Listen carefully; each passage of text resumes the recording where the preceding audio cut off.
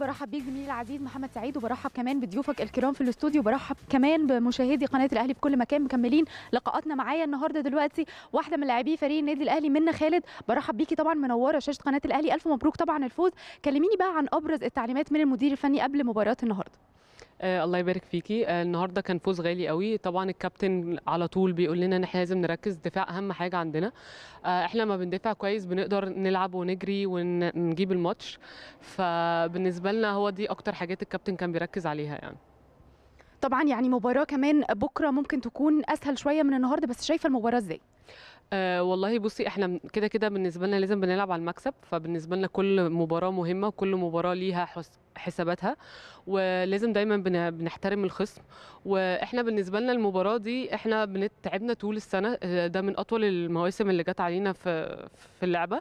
وكان موسم طويل ومرهق وإحنا عايزين نبقى فرحانين وإحنا كسبانين بكرة إن شاء الله فبكرة إن شاء الله هنلعب كويس قوي عشان يعني نكسب وناخد البطولة. بالتوفيق ليكم إن شاء الله. بشكرك جدا. ده كان لقائنا يعني يا محمد مع كابتن منى خالد. يعني بشكرك جدا وعودة ليك مرة ثانية للاستوديو. أكيد. شكرا جزيلا ليك.